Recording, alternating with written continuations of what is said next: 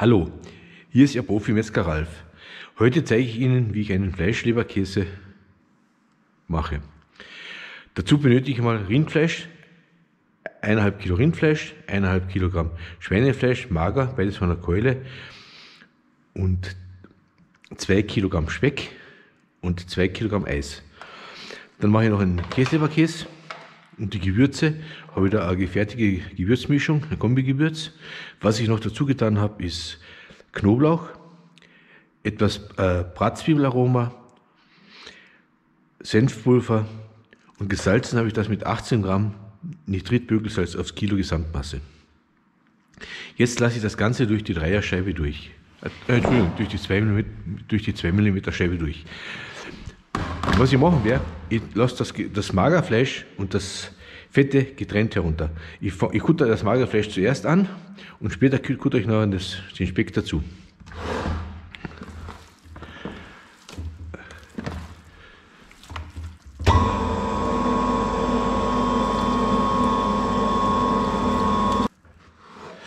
Der Wolfs Enterprise System, da werde ich Ihnen bei einem anderen Video mal erklären, was der Unterschied, zwischen Enterprise und Ungar System ist.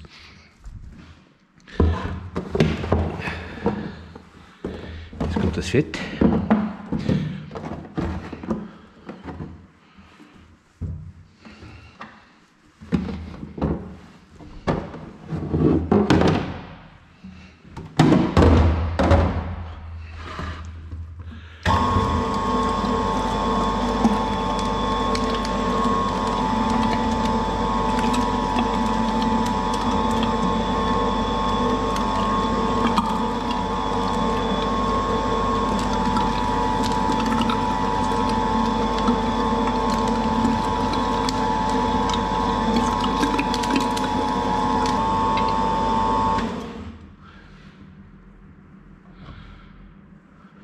Fett.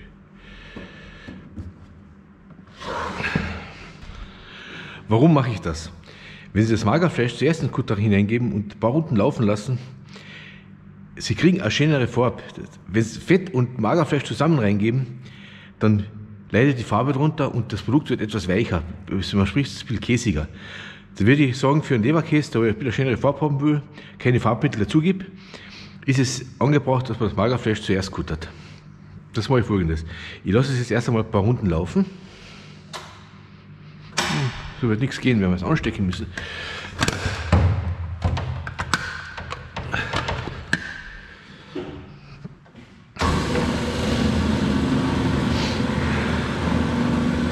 Das lassen wir so ein paar Runden rennen.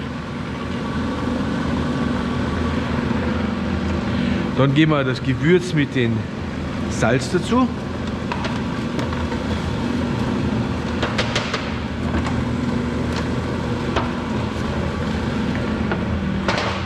Und jetzt geben wir ein Drittel vom Eis. Ungefähr ein Drittel, das weiß ich nicht ganz so genau.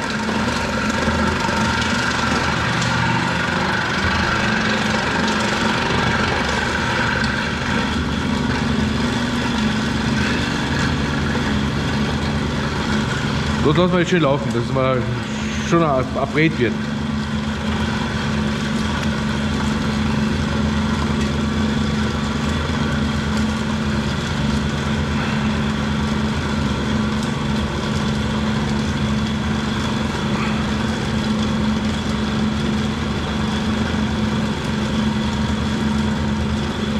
Ja, das sieht immer noch die Eis.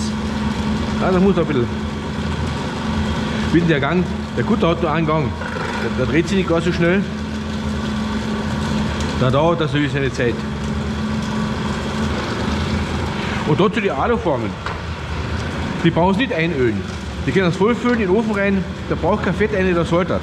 Das brennt ja nichts an.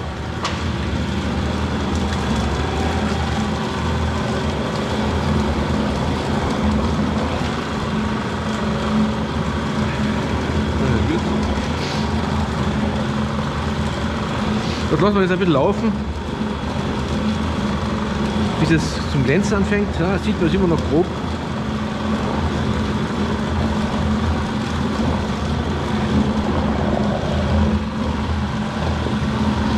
Wie gesagt, das ist jetzt nur das Magerfleisch mit den gesamten Gewürzen. Das lassen wir noch einige Runden laufen.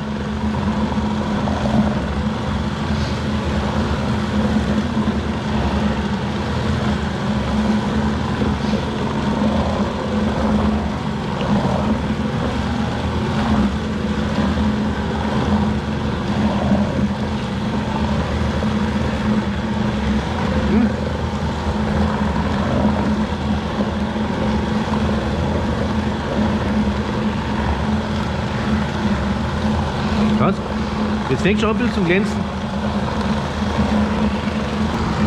und jetzt werden wir das Fett dazugeben.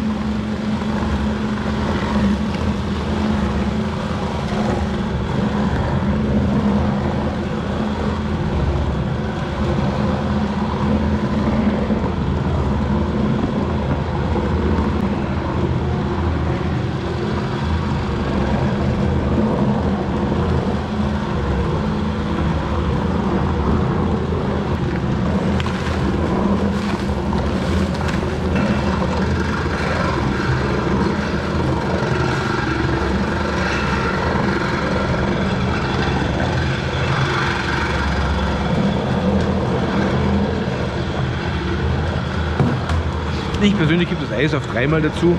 Ich kutter die Temperaturen nicht allzu hoch,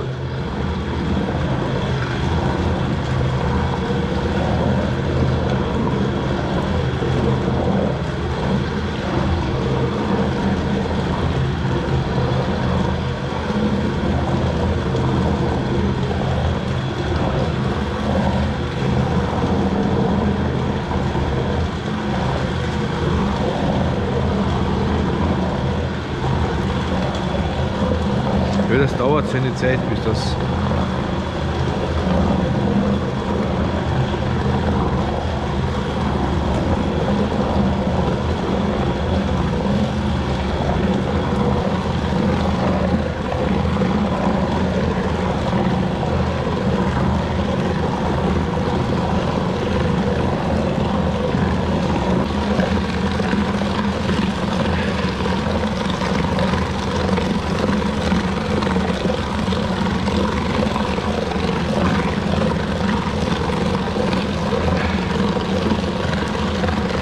Sie jetzt sehen, das Brett, das glänzt.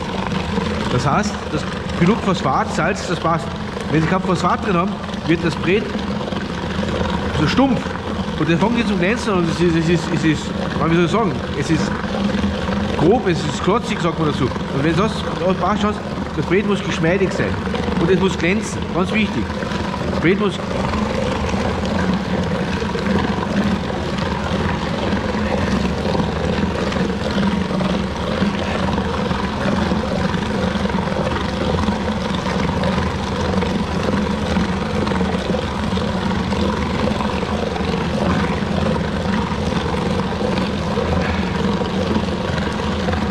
Wenn Sie jetzt sehen, das Brett, das glänzt. Das heißt, das genug Phosphat, Salz, das passt. Wenn Sie kein Phosphat drin haben, wird das Brett so stumpf. Und dann fängt jetzt zum Glänzen und es ist, es ist, es ist, wie soll ich sagen, es ist grob, es ist klotzig, sagt man dazu. Und wenn das passt, das Brett muss geschmeidig sein. Und es muss glänzen, ganz wichtig. Das Brett muss, muss geschmeidig sein und es muss glänzen. Sollte es nicht glänzen und nicht geschmeidig sein, haben Sie irgendwas vergessen, entweder Salz, Phosphat, was ist immer zu achten.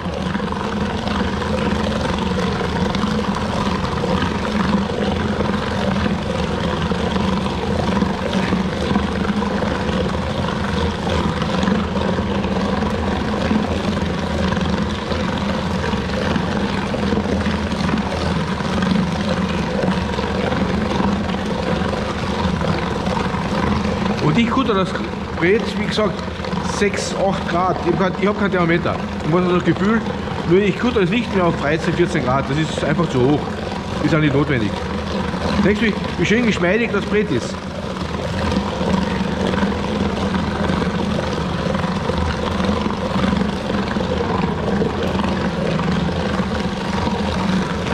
Da wirft er ein bisschen aus, das ist nicht gar so, muss ich mal richten.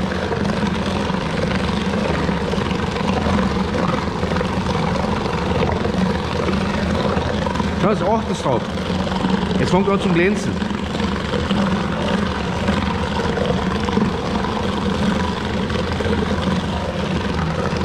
Das ist ein wunderschönes Brett.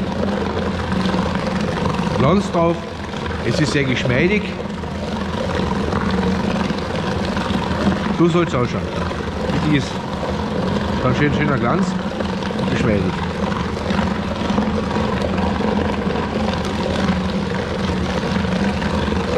Wenn das Brett so wie es jetzt ist, jetzt können wir es einfüllen. Jetzt werden wir zwei Formen einfüllen und da mache ich auch mit Käse.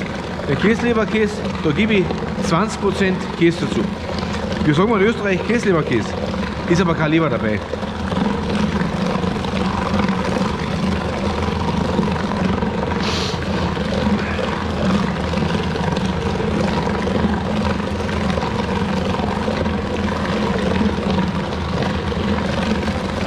Also werden wir die zwei Formen jetzt herrichten. Das gehen wir da her. Da gehen 2 Kilo rein, wie gesagt, die brauchen es nicht einfetten. Das geht so wie es ist. Jetzt schalten wir aus. Hm, so, dann nehmen wir das mal aus, so schön.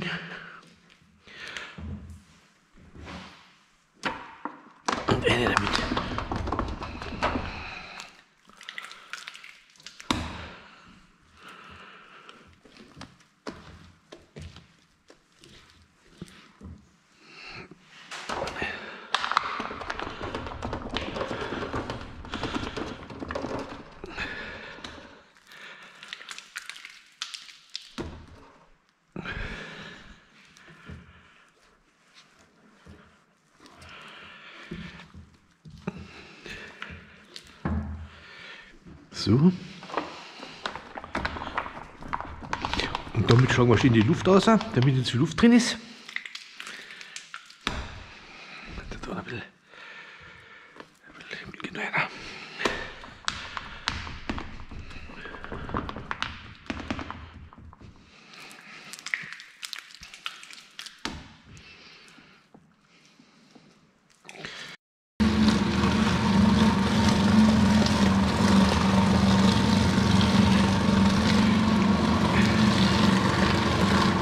Ich kutter den Käse ein bisschen runter, damit die Würfel nicht zu groß sind und dann fallen sie vom Brett nicht raus. Ich lasse ein paar Runden mitlaufen.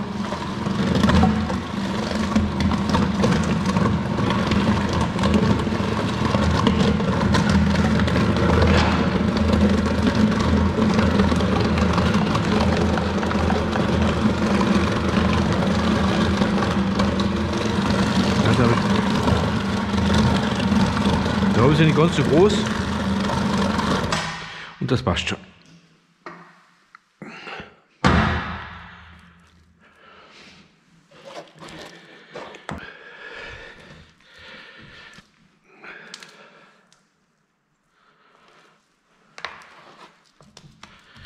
So. Und das werden wir jetzt einfüllen. Da füllen wir es jetzt ein. Da habe ich nur die Gewürze drin gehabt. Das macht nichts.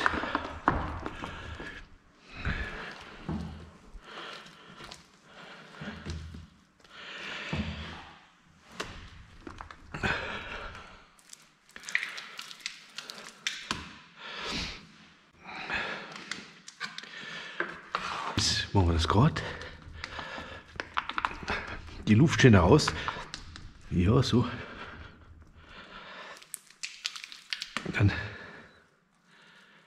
fahren wir es einmal so drüber. Dann her.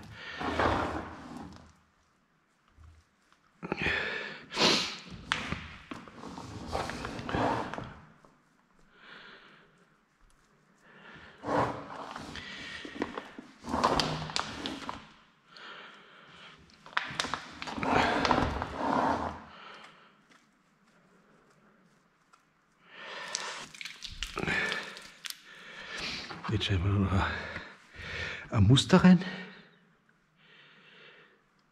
So.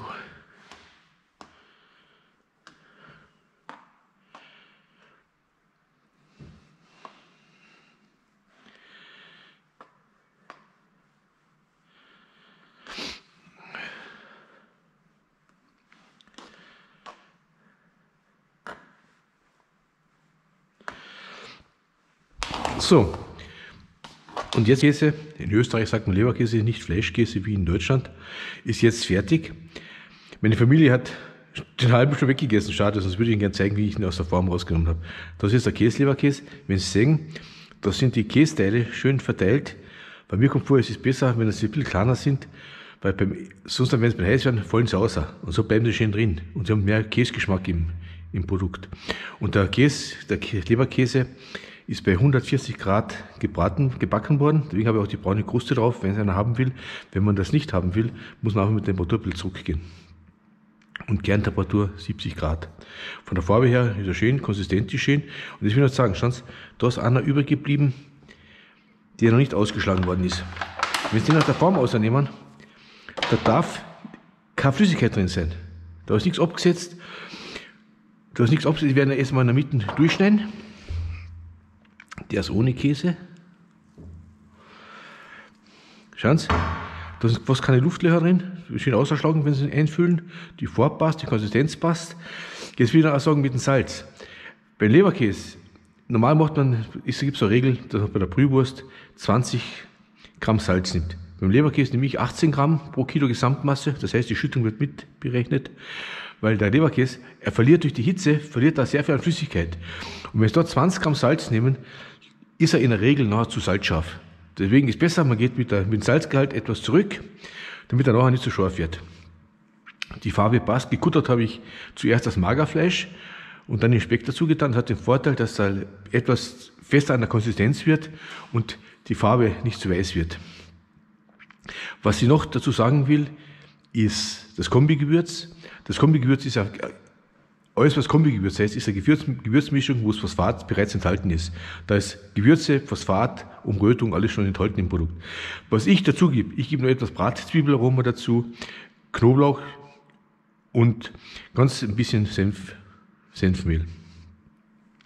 Aber ich sage, Sie können sich da drüber getan, das ist nicht so schwer. Und Sie sehen, das kann sich Herz sagen.